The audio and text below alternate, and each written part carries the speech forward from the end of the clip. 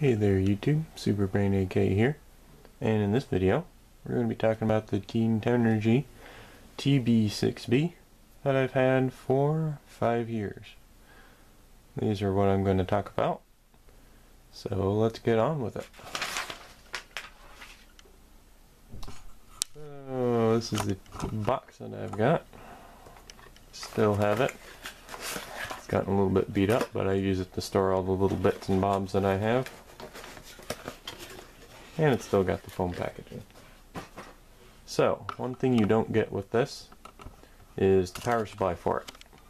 It takes 11 to 18 volts on the input here. So I've just got it running off of 13.8 volts and it's taking 60 milliamps. Sorry about that. Alright, so first thing you're probably going to want to do is charge a lithium battery. Something like this Turnigy Nanotech, which I've also had for quite a few years. Um, first thing you want to do, connect this on. Well, you do get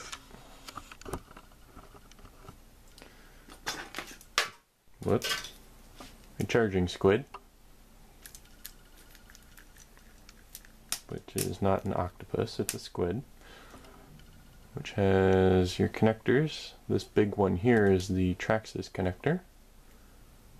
And I believe I bought this from Hobby King or Harbor Freight, something like that. And then you got your banana plugs on this side.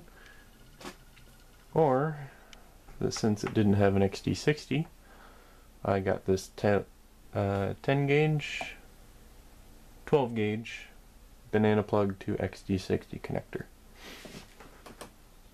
And take that, plug in your balance board.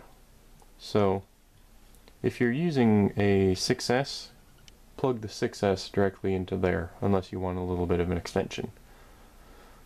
And here is for your 2S.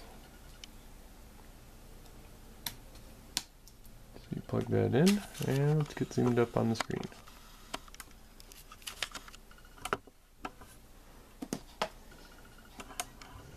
So, right now, we have it set to lithium ion battery, L-I-I-O, not Lylon like some people say. You've got your nickel metal hydride, nickel cadmium, lead acid, save data, load data, program. So, what happens if you have a lithium polymer? Well, what's the difference? Lithium ion has a nominal voltage of 3.6 and will charge up to 4.1, discharge down to 3 volts. So you just select that, go to lithium iron, or lithium iron, L-I-F-E, which is also called LFE or LiFePO 4.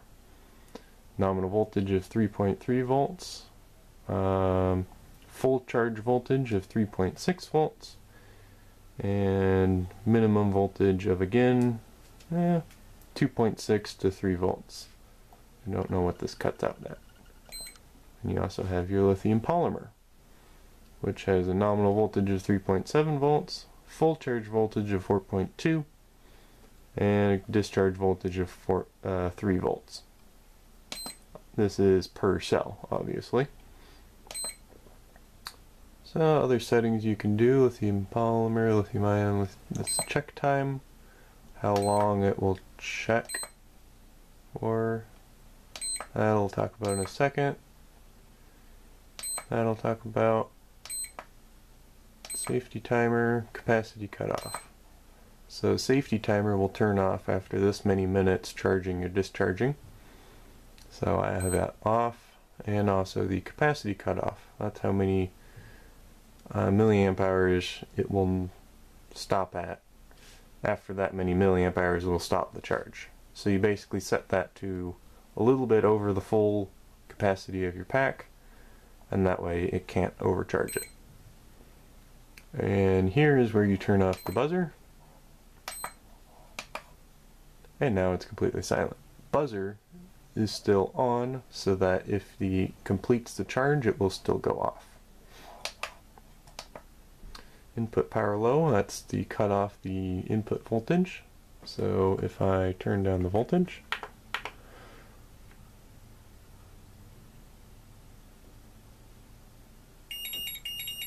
input voltage error. Turn it back up.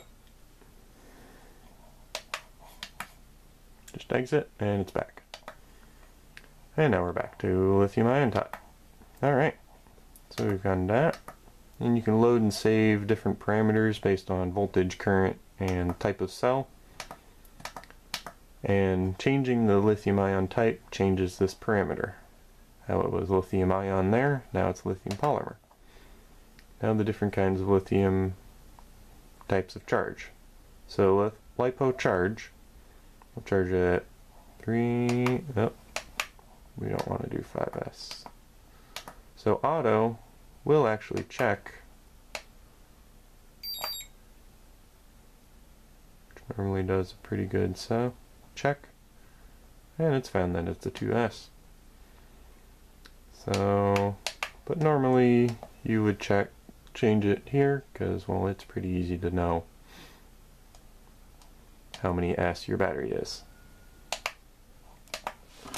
so balance will charge it up and keep it charging until all of the different cells are fully charged. We'll use the balance port here to discharge them. That's if the pack is really out of balance. This one does not do a very good job in balancing. None of them do. Whoops, I'm leaning on the barrel. So I, I wouldn't really recommend it, but it is there. Fast charge I wouldn't recommend using either. Storage, this will discharge it down to its nominal voltage, so 3.7 volts per cell.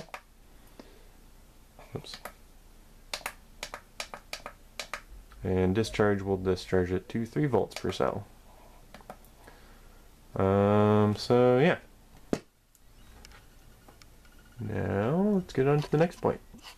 Alright, one thing I missed was uh, storing lithium batteries. Charging up a, a, lithium battery to fully charged and then letting it sit is not always a good idea. However, if you've seen Jehu Garcia's video on fully charged 18650 after what, five years, it didn't lose very much capacity. So don't stress about it. It's okay. If you're storing going not going to be doing RC for the winter or or summer, then just store all your packs and charge them up next year. Don't discharge them down to zero, down completely. That will ruin them. So, let's get on to nickel metal hydride charging. So that you don't need the balance connector. and you'll probably need, well, depends on what it is. So this charger uses D-peak, delta peak, which is the delta change in voltage, and it will check, it'll, the voltage will be steadily climbing, and then at the end of charge it will peak, and then top off. So it sees that rise in voltage. However, you have to make sure that you're charging at the appropriate current. So this Traxxas 3300 it eh, used to be a 7 cell, but this one popped, which this one is actually this one here. So I moved it over, tried to fix it. I haven't been able to solder on the back of that. Anyway, be careful with D peak charging. Make sure you're charging, don't, not at 1C, probably about half C or a little bit less.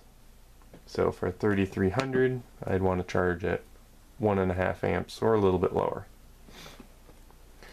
And another optional thing you can get, well, but it's recommended, is the temperature sensor. which you can change. So here you can change the sensitivity, nickel metal hydride and nickel cadmium. That's a very advanced setting. And this is the temperature cutoff. So you just plug this into here. This is the right way around.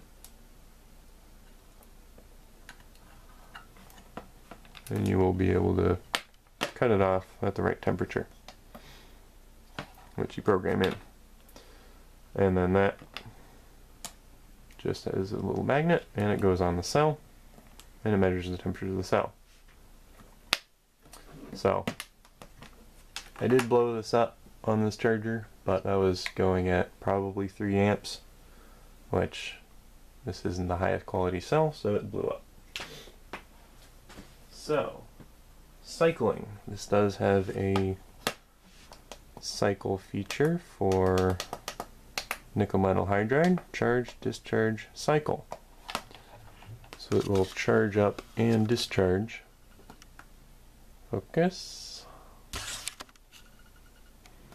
will charge and cycle for the number of times here, up to five times. And this is to refresh your pack if you haven't used it in a while, or you haven't been quite good to it. So you can change whether it charges then discharges or discharges then charges. Just depends on whether or not it was charged already or not. I think that's it. Charge, discharge, yeah. Um, so nickel metal hydride, you should discharge about 0.9 volts per cell. That's how you discharge for nickel metal hydride. And let's talk about discharging. So, this unit, um, I believe, uses a PWM discharge. So, it's not constant current, and it's not the most accurate. But, it only has a 1 amp or 5 watt discharge rate. So if you have a 12 volt battery or a 10 volt battery and you want to discharge at 1 amp, well it can't. It will only discharge at half an amp. And it does get pretty warm. So yeah. Heck, roommate's got the radio on. Anyway, so accuracy. Uh, I will put a link to where I put all of my meters in series and compared the accuracy of this guy with the TB6B that I got. The, no, the B6 Mini, yeah, from SkyRC, which was way out, way off. So, hacking to improve accuracy. There is a project that you flash custom firmware to, which I will be trying on this guy, because he should be similar to the iMax B6 Mini. That is what that um, custom firmware is for. But we'll try that. So, we'll move on to the last point, which is a teardown. Alright, so here it is, open it up. You just pull out the four screws on either side. And you can see there, and let's see, you take a screwdriver that I did have. Use this one. And pop out the buttons. Let me get those out. Okay, so you just pull the buttons up. And there we go. And you can slide off the screen. So there it is. Let's get a close up. So definitely has a lot better construction than the B6 Mini. See, there's, um, I believe one of them is the current, and one of them is the discharge resistor. Um, there's the discharge FET on the underside. These are the banana plugs. Got your balancing in here. Your balancing FETs. There's a bunch of stuff under the screen, but you have to desolder that. Same with the microcontroller. And there is a header up here. See if we can get that in the light. There you go, you can see it right there. And that where you that's where you connect to program it. There is this here, which used to be a USB port, which goes to another chip that is not populated populated. That's on the underside of the board. But anyway, here you can see the boost buck converter.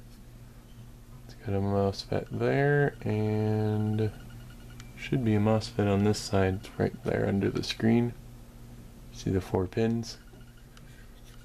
And yeah, a couple disc capacitors. So overall, it's pretty good build quality, but I wouldn't recommend it necessarily. I would either get a real IMAX B6, whether you want the AC version or not, or the Turnigy Accucel, I think, is also a pretty good one. But whether or not you can find those, eh, that's a different story. Because these are pretty old chargers. I'm not sure what the best one is that's new, but anyway, there you go. Thanks for watching. Don't forget to like, comment, and subscribe. Check out my other stuff about big power supplies and whatnot. Thanks for watching. See ya.